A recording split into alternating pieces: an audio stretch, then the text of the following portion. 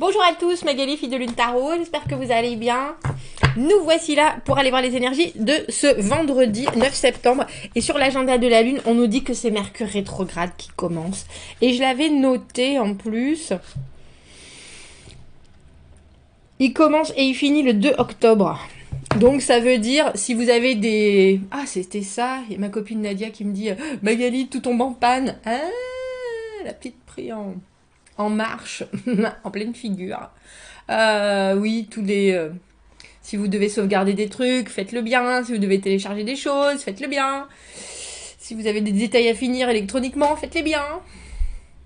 Le Mercure rétrograde, la communication qui part dans tous les sens. On fera un tirage aussi sur la communication pendant ça. Parce qu'en fait, après, je vais vous dire qu'on y croit ou pas, ah, comme l'influence de la Lune, etc., il y a quand même des choses qui prennent plus de sens et qu'on prend avec plus de recul quand on se dit Ah, effectivement, c'est juste une période. ah, effectivement, c'est juste une période. Euh, on fera un tirage. Bref, allez, arrête de. Voyez, voyez mon truc Avast qui arrête pas de. Ça va commencer, ça va commencer. Euh, la lumière risque de changer parce qu'ici c'est gris, c'est bleu. Je voulais aller me baigner, puis en fait il pleuvait. Mais, mais. Pas envie que l'été se termine, messieurs, dames. Alors, des, humeurs difficultés. Alors, Mercure rétrograde vendredi et la pleine lune samedi, c'est parfait. C'est parfait. Il pourrait y avoir quelques colères avec Mars. Les situations se développent aussi loin que possible.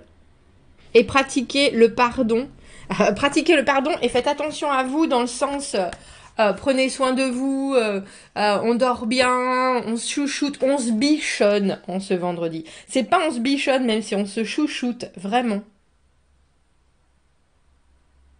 C'est la journée pour aller au sauna, messieurs, dames, pour faire un peu de méditation, pour vous poser, pour prendre le temps de vous faire du bien. Peut-être pour que les énergies vous passent tout simplement plus fluidement dessus. On va aller voir les messages à vous transmettre pour cette journée, journée du vendredi. Manger des trucs bons. J'ai fait un gâteau hier. Mmh. J'ai fait un gâteau avec des prunes et des myrtilles que j'avais fait un peu revenir dans le beurre et le sucre. Et après, n'empêche que les Français sont très bons pour la pâtisserie. Ça, c'est sûr. Je pense qu'on est champion au niveau de la pâtisserie. Mais pour les gâteaux, gâteaux, les gâteaux juste avec une pâte, euh, un garnissage, etc. Les Anglais, ils ont la technique. Qu'est-ce qu'on en fait de ces trois cartes, messieurs, dames? Qu'est-ce qu'on en fait? On va aller voir les messages à vous transmettre pour ce vendredi. Tiens, est-ce que t'en veux de ma belle coupe? Je pense que vous avez une proposition à faire. Ou en tout cas, il y a quelque chose dans votre, esprit, dans votre envie, qui se dit si ça se passait comme ça, ça serait pas si mal. Hmm. L'ermite. Et pourtant, c'est une proposition. Alors, j'ai envie de dire que vous gardez pour vous ou que vous êtes en train de Comment on dit ça? Est-ce que vous êtes en train de réfléchir Que vous êtes en train de sous-peser. Parce que j'imagine bien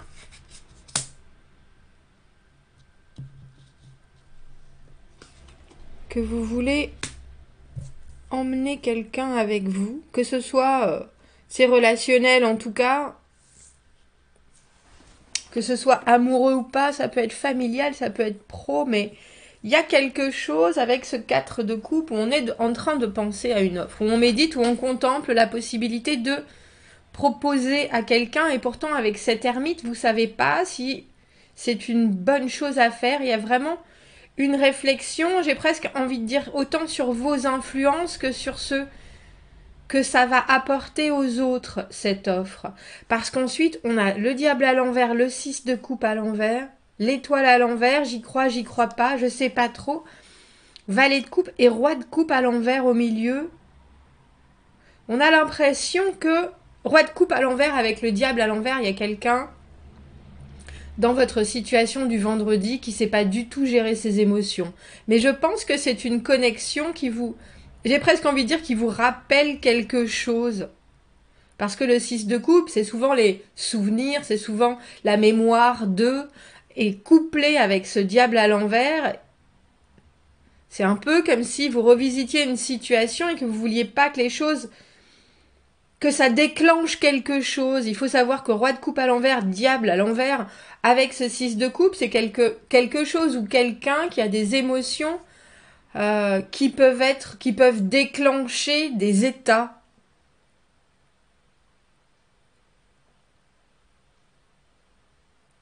Et cette étoile à l'envers, on... alors j'ai presque envie de dire, pensez bien que si vous êtes là où vous êtes, c'est pour une raison. Pensez bien que si vous avez cette offre à faire, c'est pour une raison aussi. Pensez bien que j'ai envie de dire, ayez foi en votre envie Parce qu'on a vraiment l'impression que vous retournez la situation dans tous les sens et que si ça vous met vous dans cet état-là, il y a forcément quelque chose qui doit en ressortir. Et vous, pourtant, vous êtes en train de vous demander si c'est la bonne chose à faire avec cette étoile. Et j'ai presque envie de dire, mais qu'est-ce que ça, qu'est-ce que ça ferait si vous ne proposez pas ça? Est-ce que vous avez aussi pensé à ça?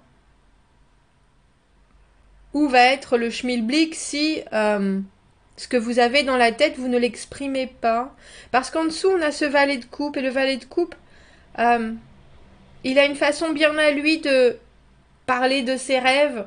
Euh, il partage des désirs, il partage des envies, c'est très léger. Mais je trouve ça intéressant qu'on passe du valet de coupe à ce roi de coupe à l'envers où quelque part on voit bien que la situation est menée par un émotionnel. Je, je pense pas que ça soit le vôtre parce que quelque part vous avez l'air relativement stable dans ce que vous regardez ou dans ce que vous ressentez ou dans ce que vous voyez venir dans ce vendredi. Vous, vous savez c'est drôle parce que j'allais dire où vous mettez les pieds. Je pense pas que vous savez où vous mettez les pieds, mais vous savez que votre offre, c'est une belle offre. Il y a quelque chose, cette proposition que vous êtes en train de peaufiner ou en tout cas de euh, de sous-peser pour reprendre ce même mot. On va aller voir. J'ai presque envie de mettre une autre coupe parce qu'une autre coupe vous voyez, sur ce diable. Une autre carte sur ce diable, parce que le diable, c'est aussi des, comportements ou des relations qui peuvent être toxiques. Est-ce que j'en fais trop? Est-ce que j'en fais pas assez? Est-ce que j'en donne trop? Est-ce qu'on me prend trop? Euh, Comment réussir à faire du beau et du saint quand il y a la carte du diable à l'envers qui nous parle vraiment de choisir ce qui est à disposition sans se demander pour autant si c'est la bonne chose ou pas, en fait. Et on a le l'empereur à l'envers. J'ai envie de dire, reprenez votre rôle. L'empereur à l'envers, c'est drôle parce que pour moi, il a toujours cette, euh, sensation de d'esprit critique, euh, de juger, Alors peut-être que l'autre personne, dans cette situation du, vendredi, se sent jugée. Peut-être que l'autre personne n'a pas à la base de... J'ai presque envie de dire une relation ou des relations aux autres qui sont très saines ou très faciles. Et pourtant, il y a la capacité de, sinon on n'aurait pas ce 6 de coupe. Même s'il est à l'envers, c'est un peu comme si cette personne savait très bien que il y a des choses qui peuvent se passer très fluidement, mais que là, maintenant, c'est pas possible. Et c'est pas possible parce qu'elle est, alors j'ai envie de dire possédée, par ce diable à l'envers et cet empereur à l'envers. Je sais bien que c'est pas bien et pourtant je peux pas m'en empêcher. Alors ça peut être de la pression aussi, hein, ça peut être de la pression sociale, ça peut être euh, ce qu'il faut faire, et vous vous êtes là, mais en fait il faut faire ce que tu ressens, il faut faire ce que tu, ce que tu recherches, il faut faire ce que... Avec cette ermite, vous, vous avez la capacité de, de vous dire, euh, le plus important c'est ton chemin à toi, même si tu es seul, même si tu es euh, dans, dans un moment de retrait, c'est ça qui, vaut le coup. Mais je pense que cette personne ne voit pas forcément les choses de cette manière-là. C'est peut-être cette personne-là qui a besoin de retrouver la foi de cette, de cette étoile. Il y a quelque chose un peu d'avoir perdu une conviction dans ce tirage. Et de la remplacer par des choses qui sont pas les bonnes. Par une espèce d'emprise qui est pas... qui est pas saine. Je peux pas dire autre chose que ça. Hein. C'est drôle parce qu'on a fait un tirage hier. J'ai fait le tirage de Futur Vous. Et là, c'est un valet de bâton. On a valet de bâton et valet de coupe. Vous avez quelqu'un qui peut être plus jeune que vous dans cette situation? Que ce soit un enfant ou que ce soit quelqu'un qui est moins mûr, moins mature que vous par rapport à cette situation? Parce que vous, en tant qu'ermite, vous y avez réfléchi à tout ça où vous avez vécu des choses qui vous ont emmené dans une espèce de tranquillité, de quête, mais c'est tranquille l'ermite, c'est paisible, c'est pacifique. Et là, avec ce valet de bâton et ce valet de coupe, il y a des énergies qui sont très naissantes, mais on a le sentiment qu'il y a quelque chose comme si cette personne, elle était en décalage par rapport à l'âge justement qu'elle a ou qu'elle voudrait avoir, ou la pression qu'elle se met, euh, parce que euh, empereur, diable et maintenant roi de coupe, on a quelqu'un qui a ou voudrait avoir une certaine stature. Et après, on a ces deux valets qui sont vraiment purement euh, l'ingéniosité, la spontanéité, euh, la jeunesse. Et c'est ça qu'il faut, c'est à ça qu'il faut répondre. C'est de cette manière qu'il faut répondre à cette personne qui a l'air un peu coincée et j'ai envie de dire coincé dans ses émotions, oui, tout simplement. Parce que le valet de bâton, pour redonner la pêche, on a presque l'impression qu'il faut faire un espèce de panel de possibilités. Le valet de bâton, c'est la créativité, c'est ah ben tiens, il y a ça, il y a ça, il y a ça, il y a ça, il y a ça. Ça doit pas durer très longtemps parce que c'est comme des flashs euh, de possibles. Mais c'est quelque chose qui redonne une étincelle, qui redonne un élan. Et ensuite, on a la reine de bâton à l'envers. Il faut être sûr de ce que vous. C'est pour ça, je pense qu'on a juste des valets. Parce que pour moi, la reine de bâton à l'envers, elle a perdu confiance en elle. Et là, j'ai le sentiment que, justement, par rapport à cette situation qui a l'air, pour, pour l'autre personne des plus. J'ai envie de dire, cette personne, on a le sentiment qu'elle est un peu défaitiste et qu'il faut l'approcher un peu comme un enfant quand on voudrait, quand on veut qu'il fasse quelque chose ou qu'il comprenne une certaine chose. Ben tiens, tiens, il y a ça, il y a des exemples, il y a ça, on pourrait faire ça, une espèce de distraction autant euh, dans la journée, dans la présence, dans la communication que dans le ressenti. Euh, mais on a l'impression que c'est plus profond que ça parce que cette personne, roi de coupe à l'envers, est capable de vous faire douter de vous je pense.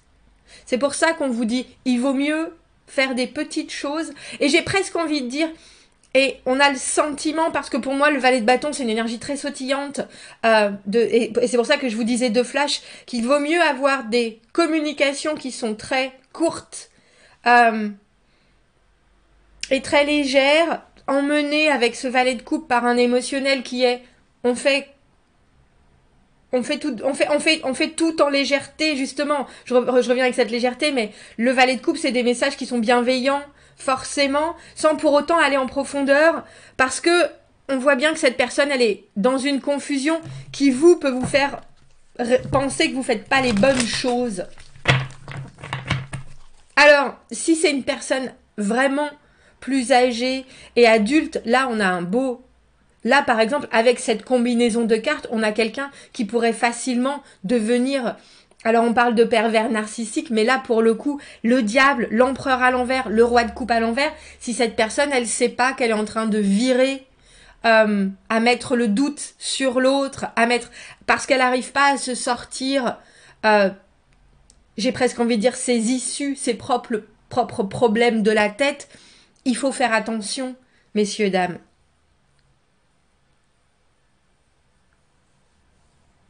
Parce que la reine de bâton, c'est quelqu'un qui est dans la, dans la réussite, c'est quelqu'un qui est dans le feu, c'est quelqu'un qui est dans l'intensité, dans l'énergie. Et à l'envers, elle perd de ça parce qu'on lui dit Mais qu'est-ce que tu fais? Arrête de faire, mais, tu fais n'importe quoi. Il y a cette idée de ça. Alors que je pense que, à la base, votre proposition vient d'un très bel endroit. Alors il faut pas forcer, il faut pas pousser, il faut vraiment rester dans quelque chose de très euh,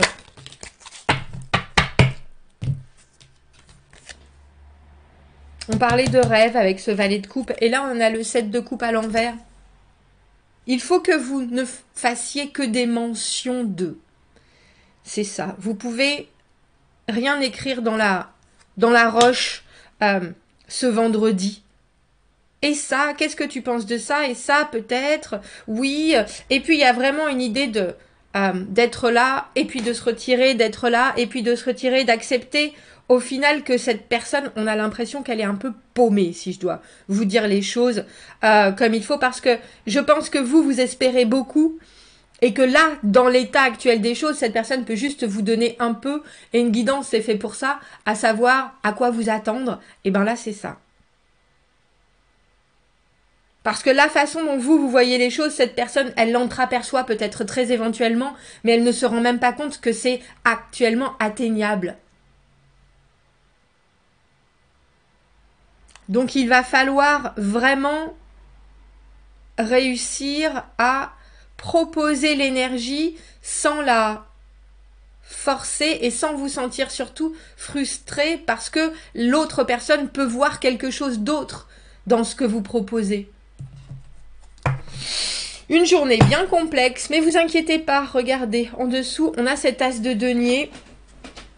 Je vous ai dit, il y a une offre en dur, un peu comme si vous tendiez la main comme quand on, comme quand on euh, trouve un chat sauvage ou un chien qui s'est fait brutaliser toute sa vie et que la première chose qu'il fait, c'est vouloir vous niaquer euh, et vous montrer les chicots. Vous êtes là, euh, c'est moi, c'est pas moi, qu'est-ce que je dois faire? Est-ce que je rêve? Est-ce que je vais réussir à faire en sorte que cette personne, ce chien, ce chat se, rassure suffisamment pour avoir confiance à nouveau? Eh ben c'est un peu ça.